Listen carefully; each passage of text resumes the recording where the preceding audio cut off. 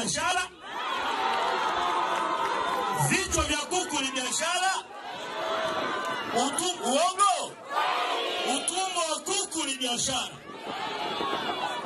Maisha ya Watanzania sasa na maisha ya watu wa Dar es Salaam, Arusha, Mwanza na kwingine ni sababu ya msingi kabisa ya kwa nini CCM isipate hata kura moja katika uchaguzi unaokuja.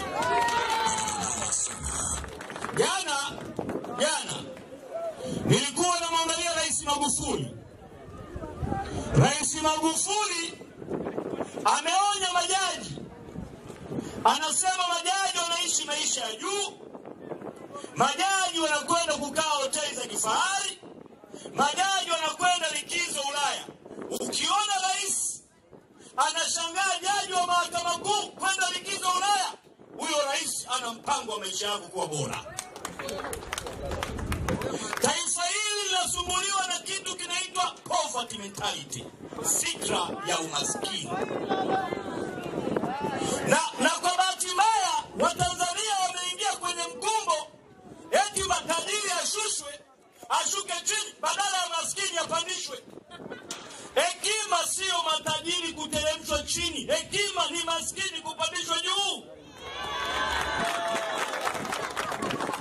Rais, unashangaaje jaji likizo? Rais, unashangaaje jaji kula bata? Rais kama anashangaa jaji kula bata, kwa nini wewe ukikosa maji isiwe kawaida? Maisha bora sio kukosa uzalendo, mshahara mzuri sio kukosa uzalendo, barabara nzuri sio kukosa uzalendo. Uzalendo ni kumfanya maskini wa Tandale awe na maisha bora kama mtu wa Masaki.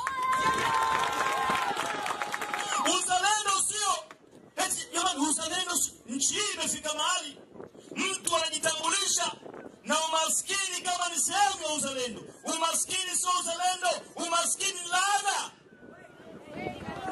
Ndio sababu kazi ya viongozi walioko madarakani ni kuwatoa watu kwenye umaskini, ni kumfanya mtu aishi kwenye nyumba nzuri, achote maji nyumbani kwake, aoge bomba nyumbani kwake, watoto wasome vizuri, aende hospitali nzuri, na ikiwezekana mwisho wa mwaka ale Ulaya kama inawezekana.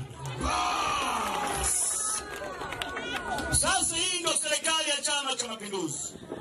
Sasa hapa tuna uchaguzi. Uchaguzi huu sio wa Salum Mwalimu dhidi ya CCM, ni uchaguzi dhidi ya nuru na giza, haki na kutokuwepo na haki. Mlikuwa na mbunge nyie, na kule ni mbunge, Kubenea ni mbunge, Mbowe ni mbunge, Mnyika ni mbunge. Mtulia alikuwa nani? Mbunge anaachia ubunge alafu anakuja baada ya miezi miwili anaomba ubunge. Nyie nani kawaloga nyie? Huyu alikuwa ni mbunge wa bunge la Jamhuri ya Muungano wa Tanzania kupitia CUF ambapo alikuwa na uwezo wa kumkemea rais. Mbunge wa upinzani unaweza ukaikemea serikali, ukamkemea rais, ukaikemea mahakama, ukaikemea usalama wa taifa na hata polisi, kwa sababu kazi ya mbunge wa upinzani ni kuikosoa serikali. Anaacha kazi ya kuikosoa serikali, anaenda kutafuta kazi ya kuwa mpango wa serikali. Mtoto huyu vipi? Mbona ashikiki?